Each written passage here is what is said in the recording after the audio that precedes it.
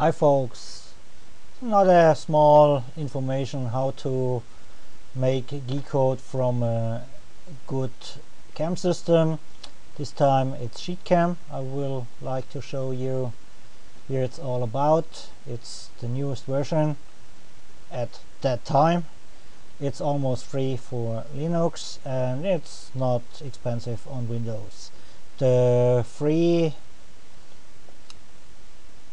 test file will produce only 250 G-code lines and I will now show how to put a small G-code.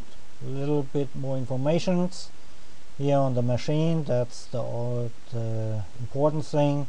You can choose rotary or jet cutting. You can use post processors, here there are 150 in and you yeah, almost a hyperterm is now inside. Here scroll up and scroll down.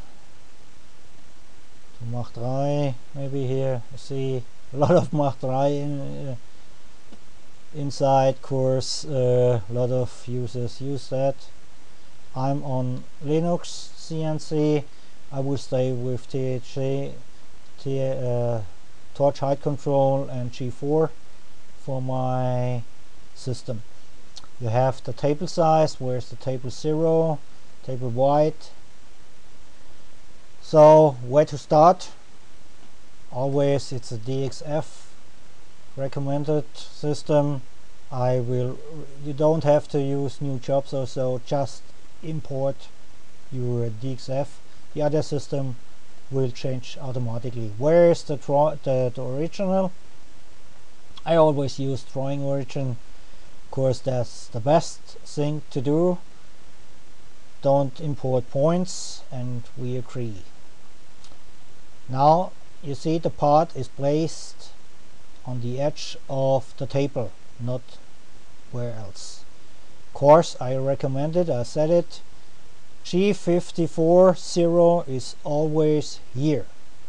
It's the machine 0 G53 that is shown but um, am they actually working you set you, you place your sheet wherever you are on the table of the machine and make your G54 0 maybe here on this side.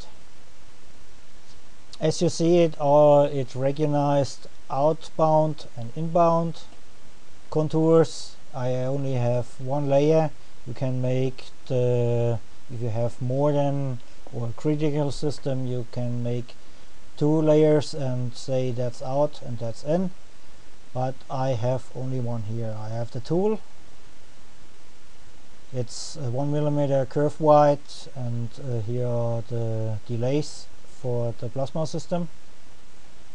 I will now move a little up here and here's the operation. I hit this. It recognized the red one the red line is here. The important thing it's uh, outside on layer 0 with the tool and maximal chain length that is uh, if there are small parts it will chain them together. I arc inside and I arc out from the part.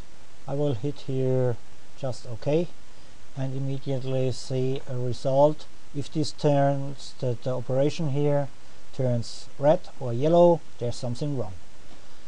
You can hit it and see what is actually wrong. The best thing I will now move down once more of course we only need to put it here you see we can tilt it. Here you can get it back with the let's say left mouse button. Or oh, it's zoomed in yes here. Uh, let's get a better view yeah, here.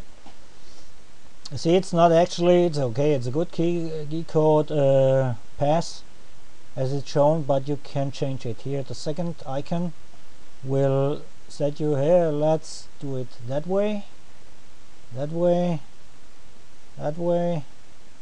It moves as you see. And if you get this red you see here there there are uh, sequence numbers. If you get uh, up there right mouse click quick sequencing it says it has 11 contours in. Contour number one should be I would say that one. Yes we want to change it.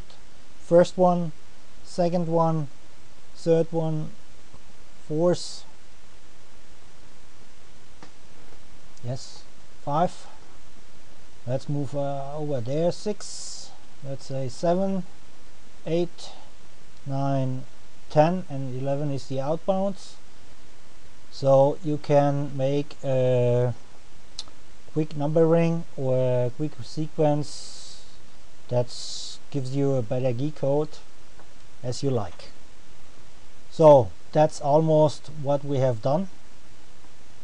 The best part is here you can see you can show let's make the kerf white for letters you will see here if a is a E or let's say a G and uh, it breaks something out. You can see here how actually the part is milled with the kerf white here the button to the right the green one gives you the G code. Let's say here we cut this one and there we have our G code no fault no errors. And that's it for today. I will no, not show you the G code in detail or should I? Uh, nope. I have to do something. So let's see. If you have information just write me email or come to the IRC channel. Uh, it's on Freenode Linux CNC join our company there are 140 people there that will help you so have a nice milling day and see you wherever we are. Bye.